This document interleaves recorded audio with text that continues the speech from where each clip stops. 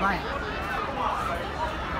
Bom dia, gente. Bom, estamos começando mais um Unicamp de Portas Abertas. Hoje sem chuva, né, professora Tereza? Sem chuva.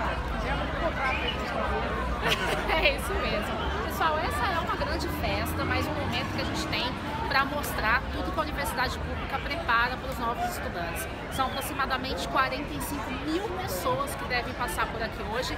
A gente está nesse momento, Ricardo, você puder mostrar aqui, né, de a concentração, o pessoal ainda chegando. Daqui a pouco já tem a dispersão para as unidades de ensino e pesquisa para as atividades. Professor Marcelo, queria dar uma palavrinha rápida para a gente sobre esse momento. É uma alegria receber todas essas pessoas. O clima da Unicamp hoje está fantástico.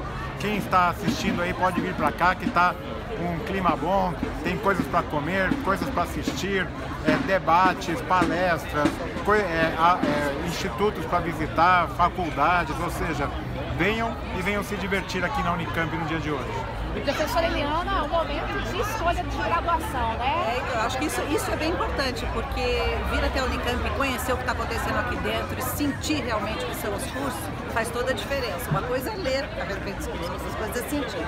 E conversar com os alunos, que isso acho que faz também toda a diferença. Agora a professora Tereza, coordenadora geral da Unicamp, esteve à frente de toda essa organização, uma equipe enorme envolvida, logística, transporte, enfim, conteúdos, muita gente, até chegar nesse momento, né?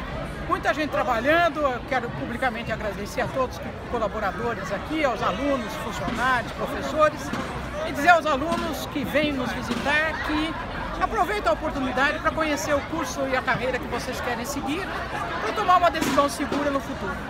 Ok, a... de vocês está nas nossas mãos. Isso aí, agora vamos simbolizar o começo da UPA? Vamos lá, pode ser. Vamos lá.